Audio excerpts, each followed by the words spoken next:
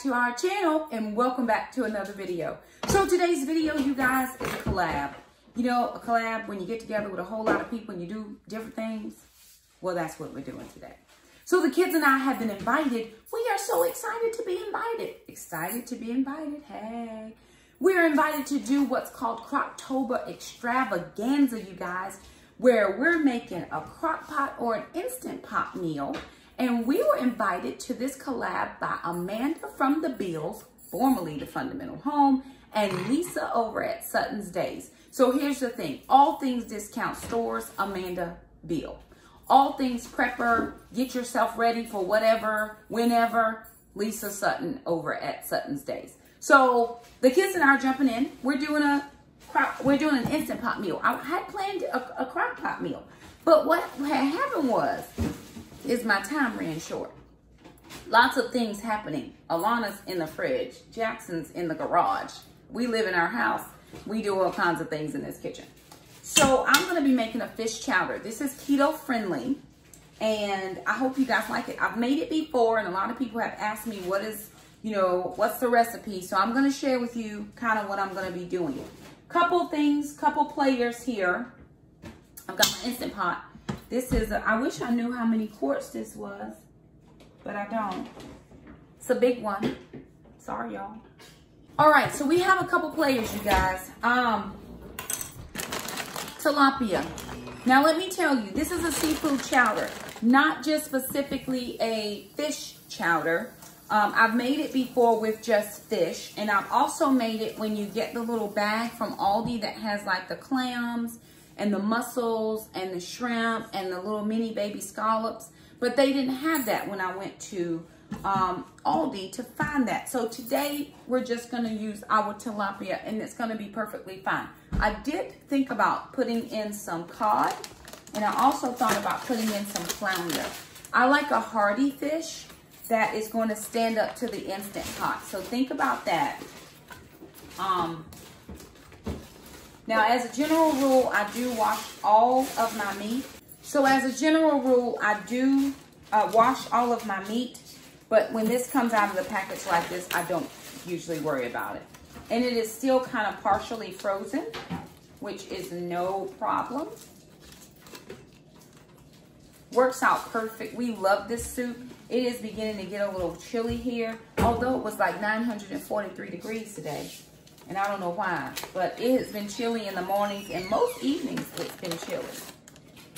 So, all right, so I was able to get six tilapia out of that bag. I think I'm gonna borrow a couple out of the other bag as well. So let's see if Alana will bring me some out of the other bag, if we still have that bag somewhere. But six tilapia may not sound like a lot. Again, you can add in any um, seafood that you like. Last time I made this, we did it with um, the seafood blend that had the mussels, the, the clams, the baby scallops, and shrimp. So I think I'm going to take two more, two more fillets. All right, that is real. Those are really frozen. So I have about eight um, tilapia in here. Again, I think I would like to try this with a cod that's a, a pretty thick or substantial uh, fish and even a flounder, but I've cut the flounder. I think the cod would be better. So I'm also adding in um, cauliflower because we are not potato people, being keto. And normally I would add in two bags of cauliflower, but we are out of cauliflower, so I'm adding in a cauliflower and broccoli. Now, Shakima, would you normally add in broccoli into a chowder? Not necessarily. But listen, we're doing what we have to do, right?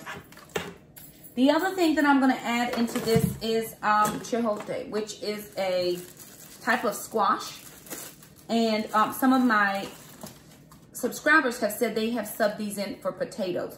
Normally, we use these sweet. We make a sweet, like an apple, but and we would put radishes in. But today, we're going to give it a go. And I think I'm going to just go ahead and peel and dice these and throw them in. And then we'll put our seasonings in. We're to set this, set it and forget it. All right, so just some things about this collab. There are a ton of ladies on it. Every day for the month of October, you're to get a new video that's either to be a crock pot or an Instant Pot meal that your family can try. So they also have a Facebook group. I will leave a link down in the description box below if anybody is interested. There's also going to be some giveaways. They're giving away lots of great prizes every day. There's going to be people posting. Um, on the day that my video goes live, I'm going to be live in the group hosting a Q&A. So I would love to see some of you lovelies over there hanging out with Shakima. Now these um, gel, they, they peel beautifully. I mean, they peel so beautifully, but they slippery little boogers. That's all I gotta say about that. So I've got two of those, and now what I'm gonna do is I'm just gonna wash my hands up very quickly and dice these. So I hate to name names because I'll leave somebody out. I know I will, and I don't want to do that. But there are a ton of ladies that I watch on YouTube that are going to be a part of this collab. And I'm like, oh my word, oh my word. Um, my girl Tangi from Freedom Homestead will be in the collab. Um, Jennifer from A Country Life. I love her channel. She's awesome and all the things. And I know a lot of you guys watch Jennifer. Um, um, Christine from Fit Frugal Mom is doing a dessert. She's at the end of the month. Um, Farmer Meemaw, Keto Wife Life. I love her life. Um, who started it? I can't remember, y'all. There'll be a list down in the description box of everybody that is a part of the collab. And like I said, there's 30 days worth of crock pot recipes. So even if you don't catch it right at the beginning, you could have a crock November. I mean, live your best life. Whatever you want to do, and don't let nobody else tell you that you cannot because you can. You can do whatever you want to do. The Bible says you can do all things through Christ who gives you strength. And if you want to have a Croctober in November, do it. Because I said so. In Jesus' name. So I'm throwing those in. Normally I would put some um, onions in here, but I don't have any onions. I don't traditionally put pep green peppers in. That's not something that I would normally do. I do have some mushrooms if my children would find themselves to uh, be able to help me with my mushrooms. That would be so most helpful. They look like little pears. That's what they look like. So I'm just dicing these up. Kind of, you know, not too thin, but not too thick. They are going to go in the Instant Pot and pressure cook. I don't want them to be mushy, though. And I've never used these as um, potatoes either. So we're going to see. We're going to all try it together. I do like crock pot meals and instant pot meals because it's like an all-in-one. Like get it all in at one time and live your best life. Mushrooms, lovely, no clue. Mom did something with them. Helped me figure out what that was. Hmm, we lost the mushrooms. Um, so yeah, don't forget if you want to come over to the Facebook group. I will put that information. All the information will be down below. Also a playlist of all the ladies that have gone before me. And you guys, okay, so for real, guess who's after me? Like the very next day after Shakima. Y'all cannot believe this. The Lemonade Mom. Lemonade Mom? Shut all the doors today. Lemonade Mom is coming up after Mom after Shakima, an organized mom, she had um, crock pot macaroni and cheese. There was like a um, cheese soup, a crock pot cheese soup that was really good. I'm like, oh my word. I have got to try some of these recipes. I have, noticed I say have to because I have not just yet. And the reason I have not just yet is because my schedule. So one of the things I like to do, especially when I'm doing a soup that doesn't have a lot of like, um, a lot in it, which the base of this soup is just the fish, which is lighter. Um, I do like to bulk it with veggies. Um, do I have any carrots, Jack? Normally I would put carrots in here. And I did forget when I was at the grocery store, I saw that keto lady use these little baby corns. She made some cornbread and she used some baby corns. Um, she's used them even though she is keto because she only used a small amount. So I thought, hey, that might be good because in traditional chowder, you do have corn. But I forgot those two when I went to the grocery store. It's not something I would normally buy. I was only gonna buy it for this recipe. So it's fine, I always make it without that. But you could throw in corn or whatever type of a hearty veggie. So as I'm trying to bulk out a soup, I'll just add in like mushrooms, carrots, um, celery if I have it, which we don't have celery today. And I do traditionally pack out this soup and we'll have it for a meal, but then we'll also have it for lunch for the next day. Traditionally, we would make um, a cornbread, a keto cornbread to go with it. Um, but it's fairly simple. If you just chop, it's a lot of chopping of whatever ingredients you want to have. Um, Jackson went to find me some canned carrots because I don't have any um, regular carrots. We don't use a lot of carrots either. We use a little bit of carrots and we only use them every now and then, specifically when we're making like a soup or a stew. Now that pack of mushrooms was only about, there were six, six in there, was a small pack. And that again is gonna give us like a protein source. So that's going in.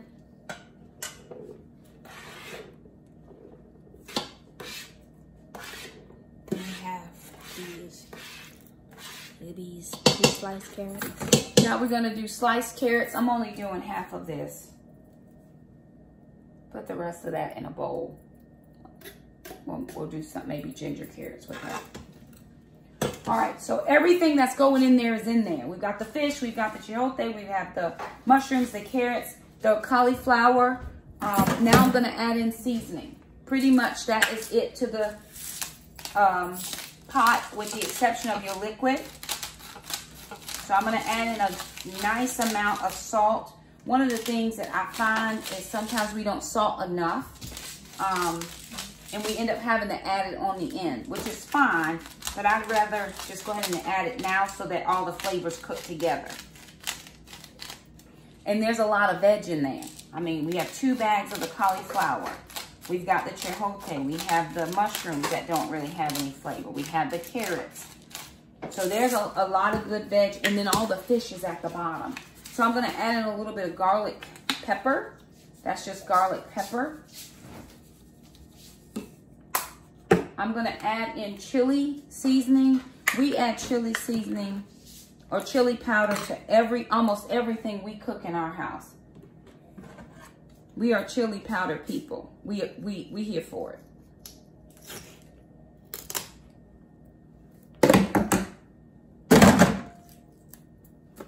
And the reason I'm on this side of my kitchen is because this is the only place that I don't have top cabinets because I don't want to release the pressure of the Instant Pot where I have top cabinets so it doesn't warp the wood of my cabinets. And we do go pretty heavy on the chili powder. This is an option. You can leave it out if you don't love it. The next to the last thing that I'm going to add in, this is um, chicken bouillon, chicken flavor bouillon. And I know this is a fish dish, but I'm going to add it in probably do a half a half a tablespoon. Because normally I would give, I would do chicken stock. Maybe a whole tablespoon. It's perfectly fine. I'm going to add in two cups of water.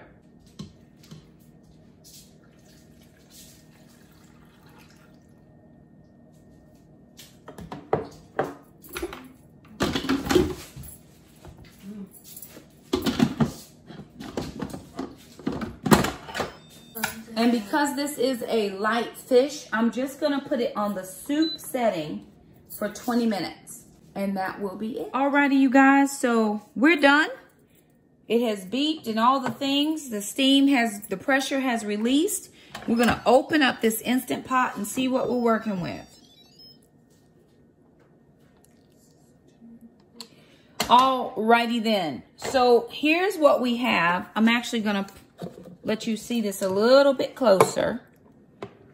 So here's our stew. Now it looks a little dark on the top and that's from that um, chili powder. So I'm actually gonna gently move around because I don't wanna break up the fish too much. But remember, we put the fish at the bottom. So I'm actually just breaking this up some. I can see the chayote. It does look like potatoes, so we'll see how it We'll see what it does.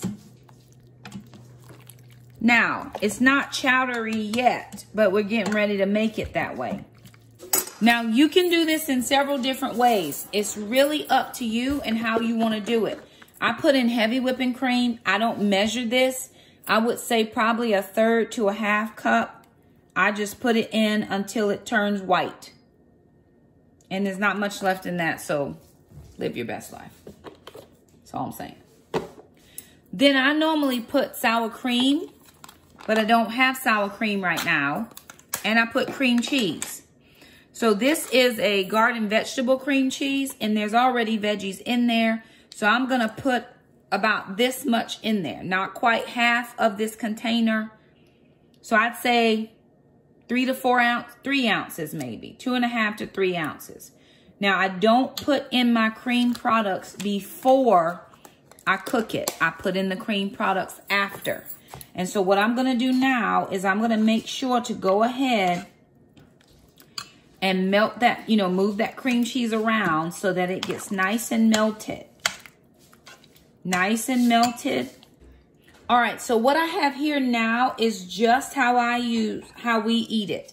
It's creamy.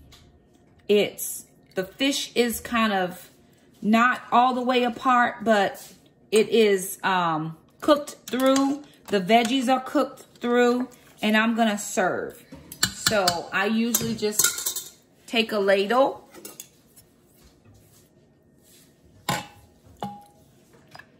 And we make sure we get everything that is in this soup or this chowder. So that gives us about a couple ladles full. I'm going to toss some sharp cheddar cheese on top. It's already cheesy enough, but we like cheese. And then this is what our seafood chowder looks like. So I'm going to let Jackson give this a little taste because Jackson is mom's taste tester. And we're going to actually show you some of our keto cornbread as well. And then he will tell you how it is and what he thinks. Don't forget to head over to the Facebook page, Croctober uh, Extravaganza. So Jackson's to try the chowder. Here's what it looks like. Going to try that and let you know. Make sure you get one of those chipotes in there and see if it tastes like a potato.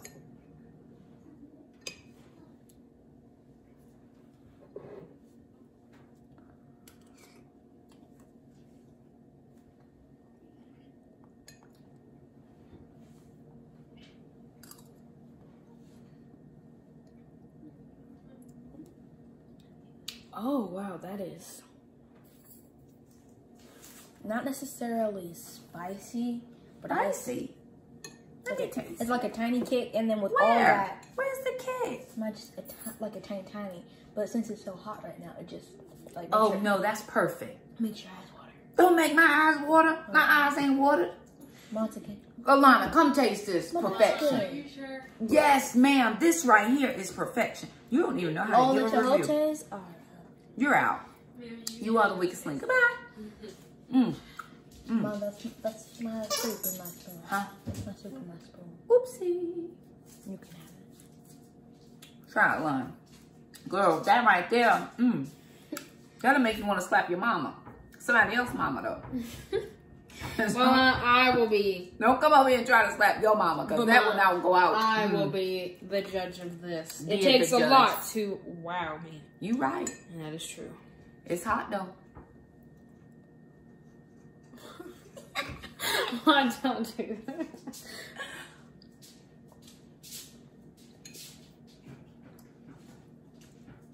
I will say, it tastes better than the last chowder we had. Right, right, right. Come on through, Jesus. Come on through. So anyway, you guys, there it is. That's our chowder. It's really good, and I can't wait to eat the rest of it. Don't forget, head over to Facebook. The link will be down below for the uh, Croctober extravaganza. You want to sign up for those giveaways because they got some good prizes. Trust me, I know. If you haven't already, go over to Amanda's channel. Go to Leisa's channel and all the other channels in the playlist. Give them some love. Tell them Shakima sent you. Listen, we are doing our thing, okay? This is Croctober. We extravaganzaing. And this chowder is getting ready to get devoured by these people in this house. So anywho, there it is. Don't forget Lemonade Mom is coming up after me. So you're going to go over and enjoy her video too. Tell her Shakima sent you. Like, like, like. Subscribe, subscribe. All the things. So we'll see you guys later. Like the video. Don't forget to subscribe. And we'll see you next time. And don't forget the corn. Don't forget the corn.